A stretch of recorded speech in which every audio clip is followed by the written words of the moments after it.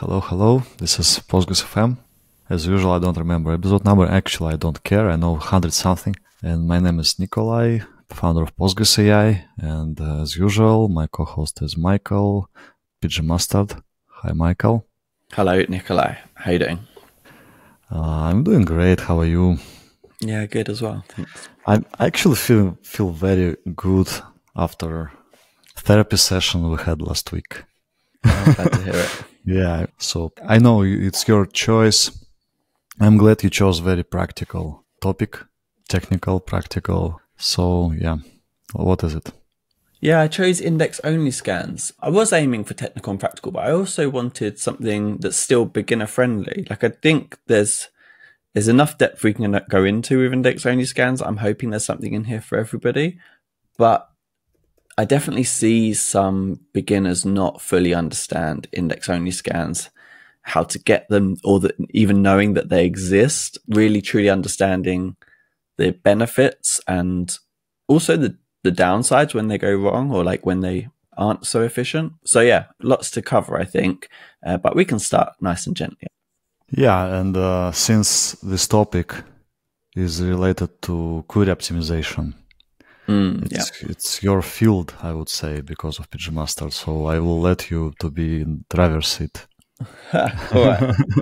right. Yeah. I, well, I feel like you are as much, probably more of an expert in this field than me still. But yes, it's definitely something I've had to look into a lot for the product I work on. And we've got a couple of tips around this it, within the product. But I actually wanted to start like super basic, like index only scans a type of scan. I think it's worth covering that we've we've got other scan types and Postgres gets to choose between them in certain situations. We can cover like when it gets the choice of doing an index only scan, but I wanted to start with even the absolute basics. Like if, for example, we don't have any indexes, the only scan option we have for a table is sequential, sequential scan. Mm-hmm. Yep. Going through the pages in order, one at a time. And then sequential if we have index- or parallel sequential, if we distinguish. True. right? You consider that different type? Yeah, interesting. Well, well, uh, technically it's different. The planner, the planner has to make a choice, right? Mm, true, true. Oh, actually, this came up. Uh, maybe this is too off topic, but um, do you think parallelism should be on by default, like with Postgres, like max well, parallel workers per gather? I think JIT should be off by default. This is when it came up. Yeah. I got bitten very badly again, and it was in my in, like in, in, my home. I had bad, bad, bad, bad, bad situation. I, I don't understand why JIT is on. I, I completely don't understand. Like it, every yeah, it, it just hurts uh, workloads, and that's it. So yeah, I I think uh, random page cost should be closer to SecPage. I, I will discuss this, right? Random, yeah. random page cost cost adjustment, and we discussed it a few times. And as for parallelism, I like kind of I saw Jeremy Schneider's opinion yeah. that that maybe in some cases it's better to switch it off to have more predictable behavior of query processing because if you well there are many things like that uh, if you have parallelism turned on which is on by default uh, two additional workers uh, mm-hmm. usually but uh, there are several such things, uh, and definitely it's our topic today. Index only scans is unpredictable thing, and heap only tuple updates is unpredictable thing. And I saw quite recently, I saw talking with customers, I saw opinion uh, which is probably reasonable opinion from from backend engineers or, or, like, oh, this is something quite unpredictable. We have many, many, many installations, various situations, different Postgres infrastructures.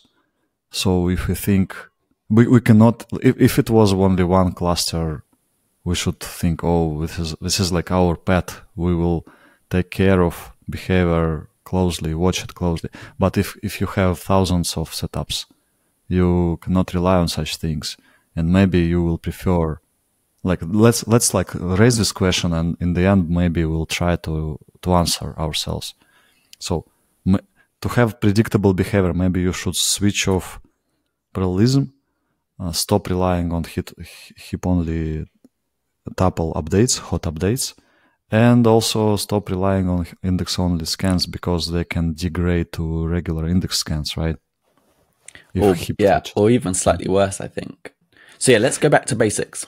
Basics. Uh, also, question: Do you feel the name is kind of off? If we had uh, name choices made right now, maybe index only scans would be named as index scans and index, index scans would be named like i don't know like index heap scans or something right? Because other it's it's hard to like you need to explain it and if people don't work with postgres planner every day they they forget and they expect index, index scan is what deals with only indexes but then index only scan what is it yeah so, that's a really good that's a really good transition into hmm. what these are yeah so index scans came first and I think that's probably like why we're stuck with that name. And in Postgres, in a lot of other database management systems, not including Postgres, you can have you have index organized tables. But but in Postgres we don't have that. We have a heap, and indexes are, are what is often called secondary. So to look something up via an index, we'll check first in the index, and then that will point us to the right place in the heap to find that row. Probably so, right. Yeah. Yes. Um, At least page is right, simple. but uh, offset might be uh, wrong, right? Yeah. Well, back to hot again. Let's keep it simple right. to start with. Yeah, um, for simple, yes, index points, but it doesn't know if this tuple is is alive or dead. This is yes. This is why yes. we need to check heap. Or or even, I guess not even like alive or dead, but visible. Like it might be alive to new well, Right, visible to current transaction. Visible, exactly. Cool. So that that becomes important in a moment when, in fact, we until you know when in, index only scans were added to Postgres. I found right. out it was. It was not very long. Nine point two. Mm-hmm. Yeah. So yeah, not that long. Like in the in the history. I remember living without them them very long, of course. Mm. And uh, this mantra, like uh, indexes don't store visibility information I first heard 20 years ago, and it was a rule. Like we, index scan must consult heap to understand visibility. Yes. So, and that, and when looking back at, in fact, the wiki includes the Postgres wiki includes a really good entry on index only scans and explains that the majority of the work to add index only scans was work on the visibility map to make it crash safe. So that I found that fascinating looking into it for this episode. I didn't know that until yesterday. So yeah, super fascinating. So the index only scan probably should actually explain what it is and does. Uh, if the data that we need for the query is already in the index, so very typical for a B tree index, not for all index types, but in a B tree index, we have the data that we're indexing in the index. If that's all we need for the query so we're running. If we don't use select star, select asterisk, if we only select, for example, columns which are in the index, this is yes. condition, right? Yes, exactly. So if the columns we're selecting are in the index, or for example, if we're doing like an aggregation like count star, we're, we're not really selecting a column, but we, uh, yeah. So yeah, there's like a count couple of cases. Mm-hmm. Yes, exactly. And yeah, and if the index type supports it, like B trees do, then we can get an index only scan. So yeah, really cool feature. Mm. This is like okay, we deal only with values which are present in index keys. Index keys maybe it can be called. Maybe no. Maybe it's bad idea to call that. But yeah, the planner might choose may choose or may not choose uh, index only scan. It still may may they may think index mm. scan is better because the second component. Like I agree with everything you said so far, but then you say we don't consult heap. Well, in in general case, index only scan consults heap because uh, we don't have visibility information still, right? But uh, it in some cases it skips it because of. Do you count the visibility map as the heap? Yes. Okay. No, no, no, no, no, no. I mean, we we check visibility map and and see what bit it has in terms of all visible bit. All, for the for the page and heap we need. if it um, is, is if it's if that page is marked as all visible, we like this is a win, but it's not guaranteed. It may be not marked as all visible. In this case, it's kind of degradation to behavior of index scan for this particular value or in, uh, reference to, to tuple, right? And we need to go to to heap and and see first see if this tuple is visible to our session. And second probably we will jump inside page to proper position because of heap only tuple chain right? But yeah that's it. So i mean you, you everything is right but uh, it's not guaranteed that we won't consult heap yeah good yes exactly. Good point. Um, so heap this is you'll see this in explain plans as heap fetches uh, if you're running mm-hmm. explain mm-hmm. analyze. Um, even if buffers is not used in, in explain analyze buffers. Yes. If you, even if you skip buffers, this kind of buffers you still get. Because, yeah. yeah. In fact, if imagine if you didn't have heap fetches and you only had buffers, you'd have to be running it twice to spot these, like once uh, anyway, so it's I really like that they call this out explicitly. Uh, it's really helpful.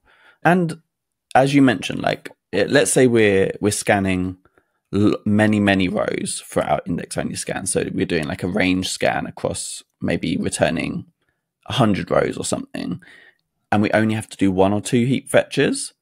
That can still be a huge win. It's only if the proportion grows to like a, a decent. So so to, yeah, two big benefits. Let's go back to like why even have why even bother with all that work to make the visibility map crash safe? Why even go like go to the trouble of doing this?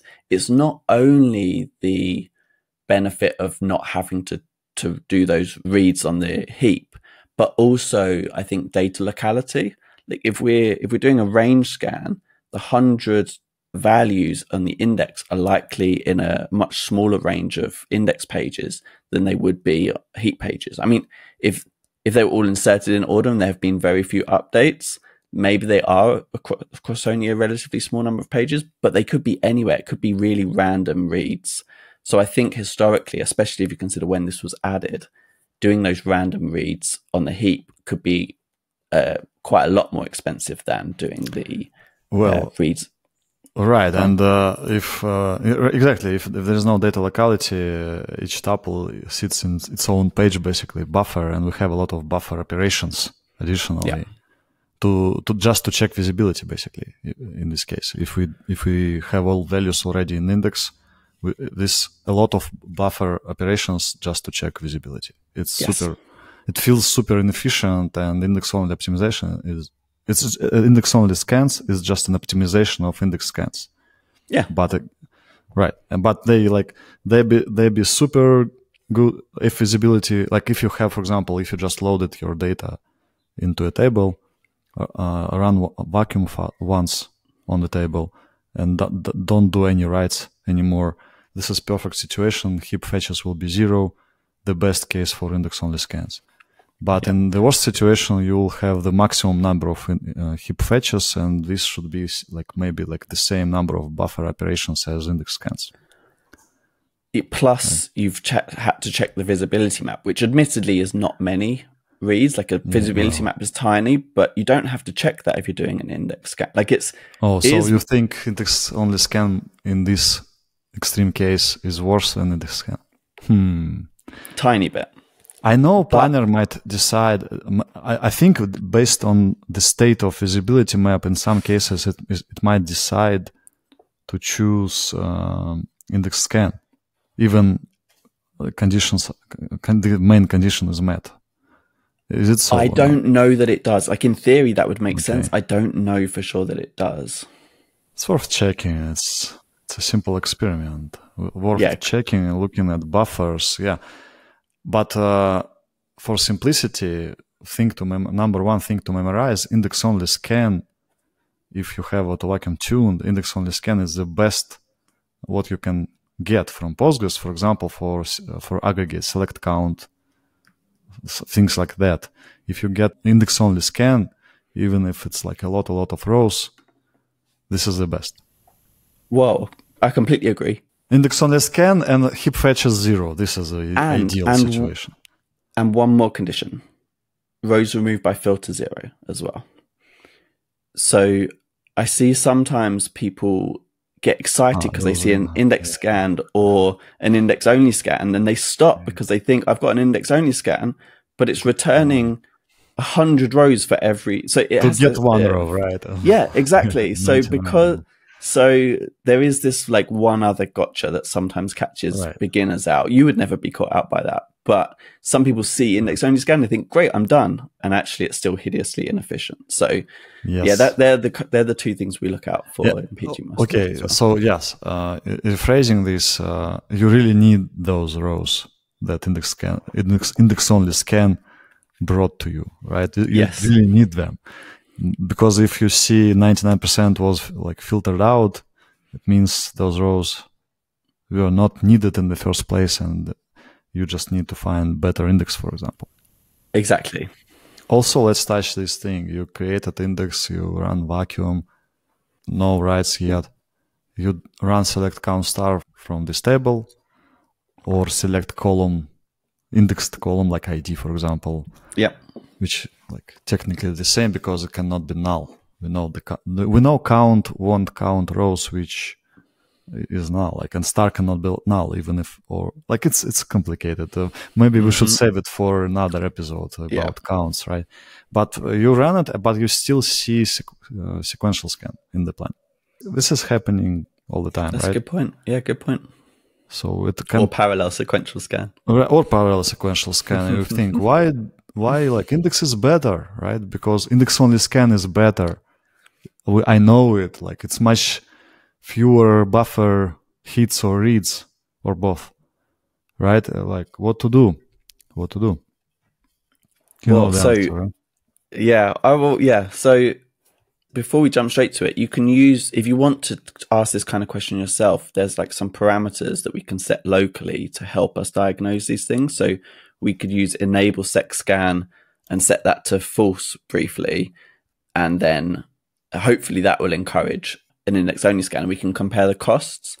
And once you compare the costs, it should become clear. How to compare the cost? Uh, disable scan and look. Run, explain, analyze, select right. count, or maybe with buffers. But you pro- you don't need it. In fact, you don't even need analyze. Yeah, yeah. Just, just because we, we want to compare planning cost. And if sequential scan was chosen, it means the cost was lower than for index only scan. Yes, exactly. And then I'm guessing where you're going with this is probably random page cost. Right. This happens if you have default random page cost. And it doesn't make sense if you have fast disks, uh, random access is close to sequential access uh, on SSD and NVMe, right? In memory, it's also so you might have very slow magnetic disks, but uh, database is well cached and you rely on it somehow, right? It also can happen still. Uh, in this case, uh, random page cost is 4 compared to sequential page, co- page cost is 1. And uh, to walk in B tree, it's random access compared to page by page um, reading of uh, heap sequentially. So index scan, index only scan, the planner, the planner looks at random page cost if it's four time, times more expensive, it might prefer sequential cost. Sequential Especially scan. if it can do it in parallel. Yeah. Yes, yes. Well, uh, index scan and index only scan also can be oh, parallel. Oh, true. So Good kind point. of like we have duplicated. So yeah, we have actually, maybe that doesn't matter. Yeah, good point. Bitmap scan, index scan, uh, index only scan, seq scan, and then parallel parallelized versions of them, right? Yeah, I skip bitmap scan in the in to keep oh. things simpler. Um, yeah, but we maybe should do a whole episode on that because it is yeah, it's interesting enough. Yeah, and uh, for index scan parallelization cannot be, as I remember, it cannot be applied to uh, navigating inside B tree inside the tree, going from root to leaf, but it can be applied to fetching the leaf, uh, fetching leaf pages in the in tree and also accessing heap, heap and also uh, traversing leaf nodes. So it has bidirectional li- list for for all the uh, leaf nodes, allowing not going up and down all the time. Like not starting from root for each entry, right? We just need the first entry. And then it, I think it can be parallelized dealing with leaf nodes. This is what I remember. I, I might be uh, slightly wrong about the internals here. But again, cool. like index only scan is uh, the best if you need a lot of rows. For count, select count star, you might still seeing sequential scan. It's a good sign you have not tuned random page cost, which we recommend to everyone to do sooner because later it will be more uh, feel it will feel more risky if you scarier, have yeah yeah scarier because you have yeah. heavy workload and changing this might flip your plans in some unpredictable manner so yeah it's a big task but, but if you do it early live with it it's like feels more like reasonable than keeping yeah. defaults. Defaults, yeah, and and uh, I did you have cases when you see this? Okay, cost for sequential scan is uh, lower, that's why it chose it. But when you say enable scan to off, uh, giving some huge penalty to sequential operations in planner's mind, then you see uh, timing and buffer operations so much better for index only yeah. scan. Like you think, oh wow, planner is so wrong here. You had it, yeah, I have it all the time yeah. Right. And this is a good sign we need to change random page cost by default yeah. in all databases, basically. Yeah. And I think mm-hmm. we've discussed this in previous episodes, but uh, in the past, I've seen like conservatively people go down to two, but and you know aggressively. Reason, right? I mean, ah, not two. I, I, I was thinking why default is still four. Why you know like why is it why is it still four? The default. Yeah, I don't I don't know. I I've seen argument or I've seen people mention that they don't want uh like people have old systems and they don't want uh to change those. But yeah, old no, systems already exist. I I agree with you, but but that is the argument I've heard. Defaults are applied to new systems. New systems I, I understand are on SSD mostly. But that's what people say, and I actually think also even if they didn't, like also it's not it's not about old systems versus new systems. It's about ssds versus spinning disk like it's it's about disk type mostly. Most people aren't setting up new systems on spinning disk like most people are setting up yes. yeah. So if, in that case why are we forcing the majority to have to change their default instead it's of like annoying. default should like be JIT. for the majority? Yeah. It's second place after JIT or maybe default shared buffers third place. Third place for, for goes to random page cost. Let's have maybe some chart of um, like uh, de- defaults we don't like. We would like to be changed. By the way, things are changing slowly. Yesterday, I, I learned that pg_dump is not a backup tool anymore. It's off topic, yeah, but nice. it's very similar nice. to yeah. So many years of discussing, discussing. It's like it's not a back, uh, like you're like swimming against current all the time. Like you, you say something, but you open documentation and it says this, and you know, every, every experienced guy says this, but still, so defaults are similar, similar to that. so Postgres until version 18 in documentation stated pg_dump is a backup tool. Like first sentence about pg_dump. And finally, like five days ago, Peter Eisentraut committed the change pg_dump is a tool to export PostgreSQL databases. Yay. Export, not backup. And uh, but this will change only like in a year in Postgres 18. But it's already a win, like so good. I hope defaults also like they are slowly changing. L- yep. Log work checkpoint mem. was on work mem. Yeah. Is it hash, is it? Hashmem multiplier has been like workmem's been increasing very slowly over the years. Hashmem yeah. Mm. multiplier doubled in like not that long ago. Like there was AutoVacuum default throttling ten times, but it was many years already ago. Yeah, yeah slowly it's it's it's changing. It's good. So random page cost, most people say decrease it, one point one maybe. You said some guys decide to go with two. Well, yeah. I, I, I can say some guys decide to put one there, but yeah, put four to seq page cost. What? Yes.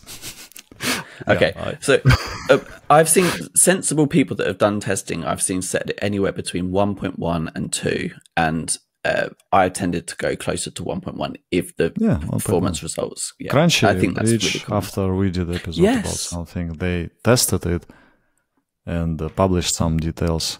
Maybe we'll find and attach. So yeah. they they they their benchmarks show that 1.1 in in their case, I think it's AWS and GCP or something, right? It's still in their case they found out that uh, 1.1 is slightly better than 1.0 according to some benchmarks, not mine. I don't yeah. know, maybe. So since then, I I also got kind of like put 1.1 before I I tried to put 1.0, 1.0. So I don't know. Like 1.1 is good to start, right?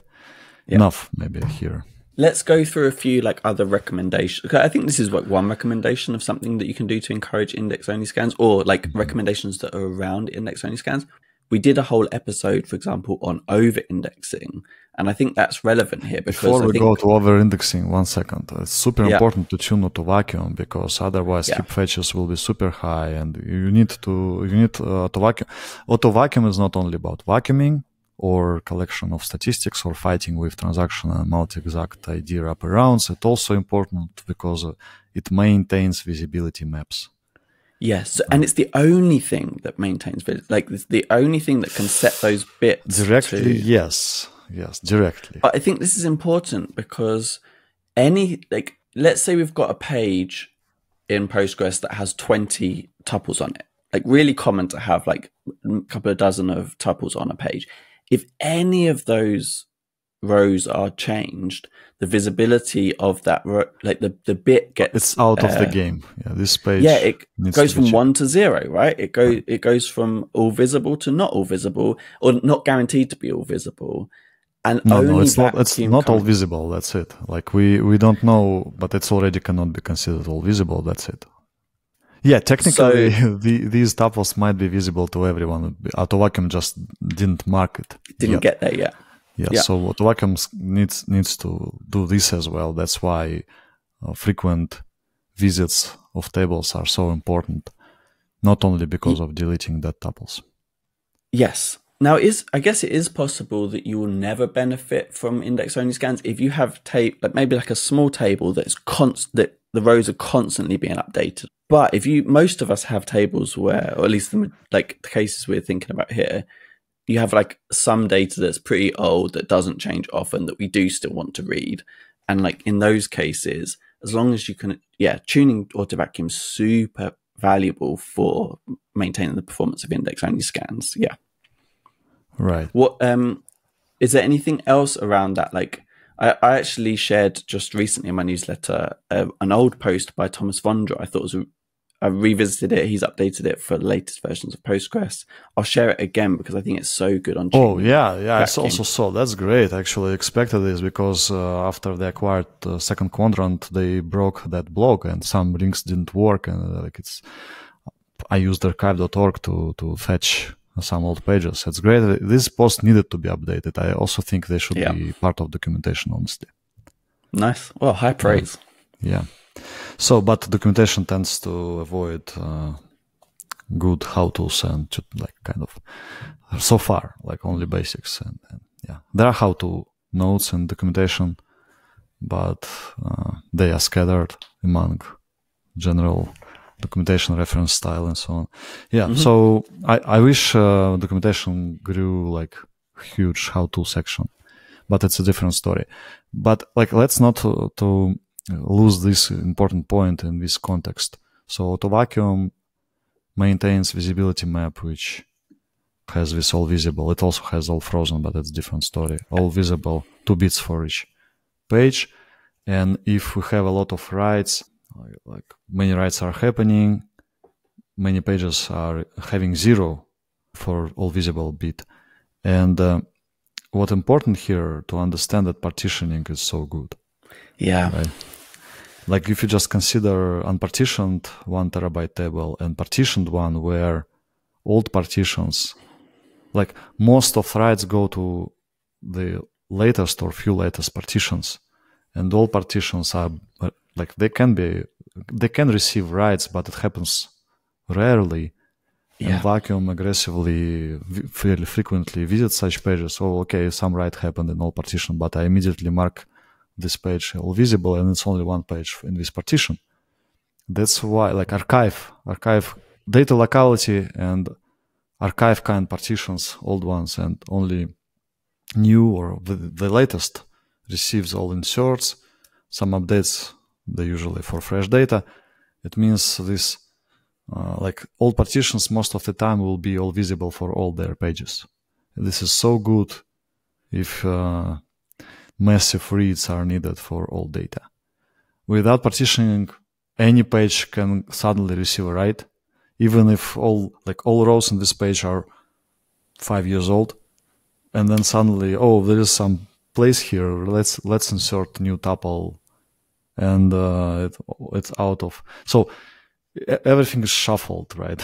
all new data and old data they can live in the same page, and for visibility ma- map, it's kind of a lot of work for auto vacuum, and visibility map is most of the time is kind of like in bad shape.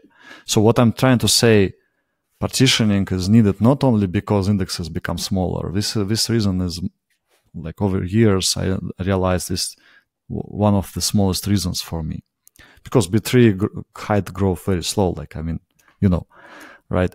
But uh, this particular thing, this may be number one reason since recently I realized it. Wow, you yeah, think yeah. so? For partitioning, like we can say, okay, this partition is barely touched in terms of writes. We just read it because people want to see archive data. But reading is like well organized most of the time. Like if we, if we need counts or something, it's index index only scans with heap fetches close, very close to zero, right? Without partitioning, impossible, right? I mean, and mm. unpredictable, less predictable also. Yeah, I mean, in the case you're talking about, where it's append mostly and it's to the to the right of the yeah, I, I definitely seen cases where you you you don't touch old data anyway, whether it's partitioned or not. But I definitely I, I see this as yet another benefit of partitioning. I'm I'm surprised you said it's like you see it as the biggest, but that's really cool. Well, actually, I think if we, for example, decide to create additional indexes to support index only scans and we will talk about methods right now right? But and index write amplification I, I know we, yeah. we plan it. But if you for example decide usually we keep the same sets of indexes on all partitions right? But technically we, you can create an index for a particular partition. And if for example you created it for like kind of archive style partitions to support uh, index only scan to to prioritize them for reads and you maybe don't care about write amplification because again mm-hmm. these partitions barely receive writes and hot updates also we don't care. We care about we so we might decide to create more indexes for all partitions uh, to and benefit from yeah scans, right? And i've keep, not seen that but it's a cool idea. It's just like i don't know maybe it's a crazy idea. Maybe we'll have some walls hit uh, if we implement it. But it seems reasonable. And for fresh part- i never did it uh, like just because for, for, fresh partition you avoid creating these indexes because you want uh, hot updates hot updates occurring. So mm-hmm. right? Yeah. Let's let's maybe dive into details a little bit. I yeah well or we could point people towards the we did a whole episode on over indexing and we did another one on hot right. updates. So I, let's point people at those because i think there's a couple more like definitely want to get your thoughts on the difference between multi-column index and include like when I, you use each or when it was released again like 11 12 10 10 11 i don't remember I some many check. some many years already many years ago and um, i was thinking is it only for unique indexes honestly like I remember I had Anastasia no. Presented on Postgres TV details, some details, and yeah, or maybe it was interview because she participated in this include keyword covering indexes right? So my my understanding we only need like we it, it might be size difference also right? Because if if we want to put in uh, a new column to have multi-column index one more column we just included it will it will participate in structure right? Yes. But if if we say include, it's just additionally stored in leaf nodes, right? Leaf page, exactly. Yeah. And uh, so, it means that kind of for to achieve index only scans, both cases work, but first case can be also also used since it's in structure, it can be used to verify uniqueness or maybe also constraint exclusion. Exclusion constraints. Yeah. So exclusion constraints, right? Maybe for range types. Uh, it's a different story, but definitely for uniqueness. And I now realized actually we cannot put some data type, uh, columns of some data type to multi-column index, but we can put them to include. This is also benefit of include. So unique constraint can, can, can like we, we don't want to put index because it will break the logic of uniqueness, right? But we can put additional column for to include and have index only scan, not changing logic of unique constraint. But also yeah. to include, we can put data types which uh, are not uh, B-tree friendly, which are not supported by B-tree. Like or not array, for example, right? Yeah, yeah, yeah. Polygons or something like points. Although you do need to be careful with size, right? Of course, yes, of course, size matters. But imagine we have like point two two numbers, right? So we can, we can put it to include and the index only scans will happen. I've got one more thing that I wanted to make sure we mentioned, which was something practical and very beginner friendly. That, well, in fact, probably the main thing that I see stopping index only scans in in the real world, which is people selecting more data than they need. Yeah. Um, and I know it's kind of obvious, but it's really common in ORMs to have select star be the default, which is almost always going to be giving you more columns than you actually need for that specific query. But I see people doing it, like people deleting features, for example, like uh, changing how a page is structured in an application, and they no longer need all the data from the, the, the query is returning, but don't change the query. Like there's uh, there's so many ways it can creep into people's code that they no longer need all the data they're returning. So mm. being like careful on that front, and also just remembering that there are these optimizations if you can be, uh, even if the application does currently use all of the columns, do we need to? Like, what, what value is that adding uh, right, at the moment? Right, Could you right. make things much faster by not including that information at that point? Right.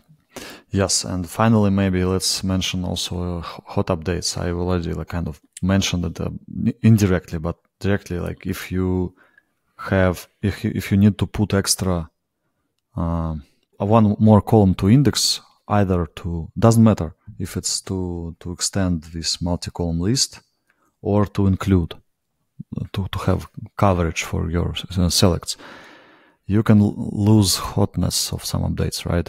Because even if it, even if it's uh, in, include, still, this if this column is updated frequently, these updates cannot be hot. They will be much slower. They will be regular updates.